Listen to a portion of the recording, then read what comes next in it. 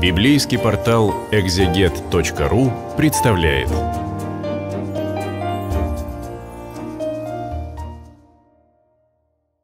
Сегодня на библейском портале «Экзегет» мы продолжаем изучение э, книги Псалтыри.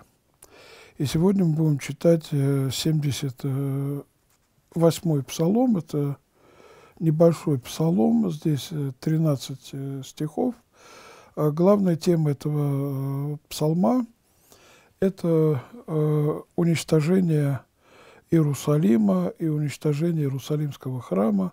То есть это такой э, пророческий псалом, где как бы вот эти события, они и предсказываются, и описываются. Этот псалом – Э, составляет продолжение перед 76-м э, и 77-м. Э, То есть он как продолжает те темы, которые там начались. А, значит, надписание этого псалма по Септуагинте псалом Асафа, по церковнославянски Э, псалом Асафу, и э, по э, еврейскому будет псалом от Асафа. То есть надписания, они совпадают. И начало этого псалма по греческой септуагенте, который является исходником для церковно-славянского, «Боже, пришли язычники в наследие Твое, осквернили храм святой Твой. Божие – это обращение а, к божественному правосудию. То есть человек как бы говорит, судья, рассуди. И, иначе говоря, писатель этого псалма как бы говорит, будучи Богом всесильным, как мог ты сдержаться и допустить, чтобы в твое владение вторглись чужие племена? Э, действительно, такой вопрос возникает перед нами, когда, например, в 1812 году э, православная Москва была сожжена Наполеоном, а во время э, Второй мировой войны Адольф Гитлер, который уже стоял под Москвой, не смог э, взять советскую столицу. А почему так происходит?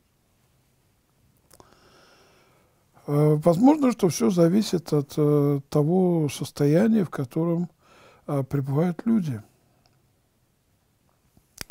Поэтому этот псалом, он вообще говорит о сложных временах, когда наши святыни оказываются в поругании.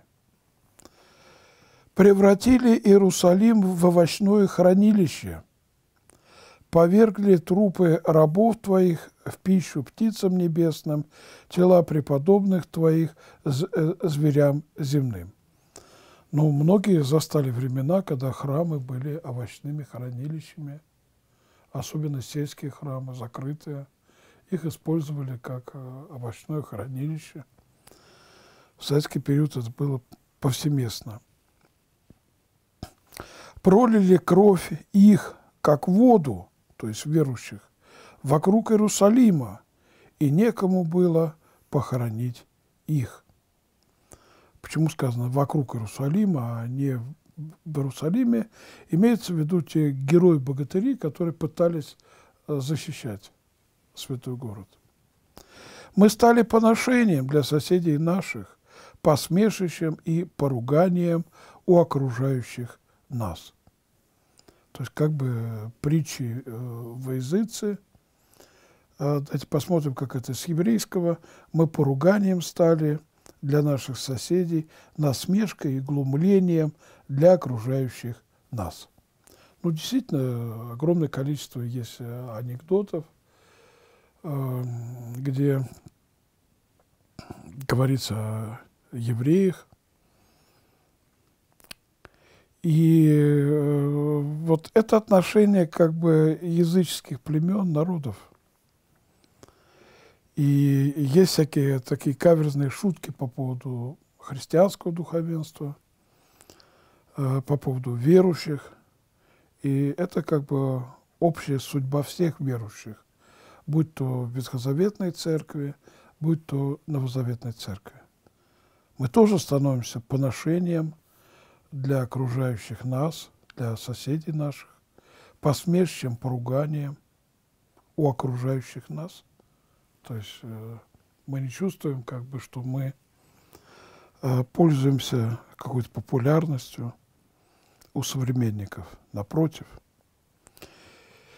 И Христос говорит, э, радуйтесь и веселитесь, когда будут гнать вас, всячески неправильно злословить имени моего ради. Потому что таким образом мы как бы с одной стороны разделяем судьбу древних пророков, которых тоже бесчестили и поносили, а с другой стороны судьбу самого Христа, которого бесчестили и поносили. Например, говорили, что он творит чудеса силой Вильзевула, э, князя Бесовского. И пятый стих. «Доколе, Господи, будешь гневаться до конца, будет пылать, как огонь, ревность э, Твоя». То есть они как бы понимают здесь, что гнев Божий, он э, объясним, но не может же это бесконечно продолжаться. Э, «Доколе, Господи, будешь гневаться до конца, будет пылать, как огонь, ревность Твоя». Вот гнев э, Божий, он обусловлен э, божественной ревностью, а ревность – порождение божественной любви. Имеется в виду то, что со своих избранных Бог всегда спрашивает значительно строже, чем с других людей.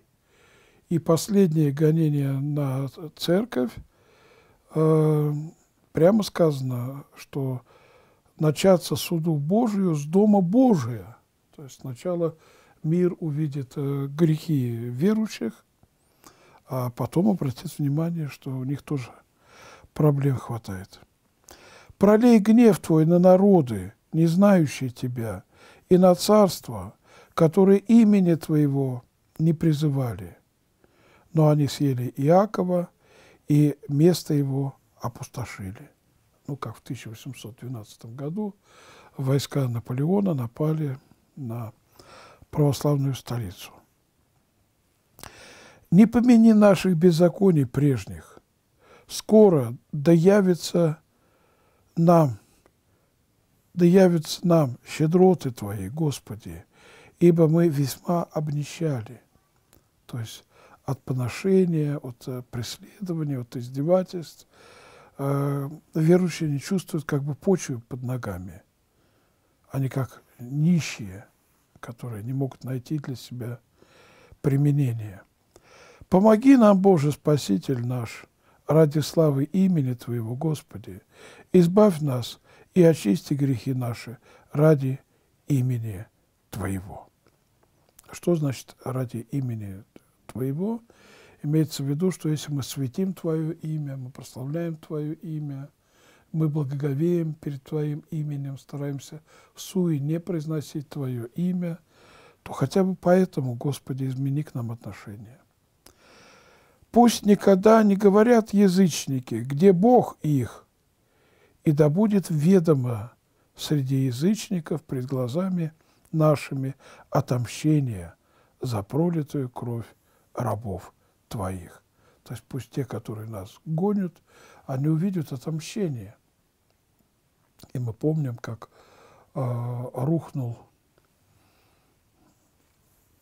государственный атеизм в нашей стране, и те, которые э, разрушали храмы, репрессировали верующих, они теперь э, со стыдом скрывают, что принимали в этом участие. Отомщением воздано э, пред нашими глазами – Пусть достигнет тебя стон узников, могущество мышцы твоей, э, сохрани сынов умершленных. могуществом мышцы твоей сохрани сынов умершленных. Давайте посмотрим, как это звучит по еврейскому тексту. «Да придет э, пред твое лицо стенание узника, как твоя раменница велика в живых, оставь смертников».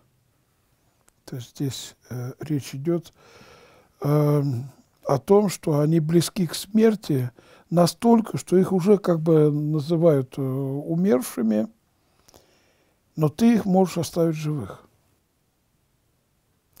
Но есть и другой смысл. Пусть достигнет тебя стон узников, то есть они получат освобождение, могуществом мышцы твоей сохрани сынов умершленных. То есть их уже освободить нельзя, они уже умерли, но Господь силен позаботиться о них и сохранить их в обителях своих небесных. Воздай соседям нашим седьмикратно в недра их. А почему именно соседям, потому что они знают нас. Они знают, что никаких преступлений мы не совершали, достойных такого э, сурового э, наказания. Феодорит Кирский пишет, заплати им бедствиями, всегда угрожающими. То есть, э, как бы их зло вернется к ним.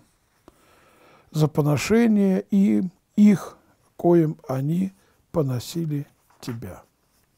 И окончание этого псалма «Мы же народ твой, и овцы паствы твоей, будем исповедовать тебя, Боже, вовек, в род и род возвещать хвалу твою». То есть, несмотря ни на что, несмотря на то, что нас умершвляют, несмотря на то, что мы можем оказаться узниками, э, все-таки как народ Божий мы его народ, мы верующие в Него. Поэтому мы овцы, паства Его. И Господь э, защищает нас, а мы будем вечно восхвалять Его святое имя, вовеки, в род и род возвещать хвалу Его.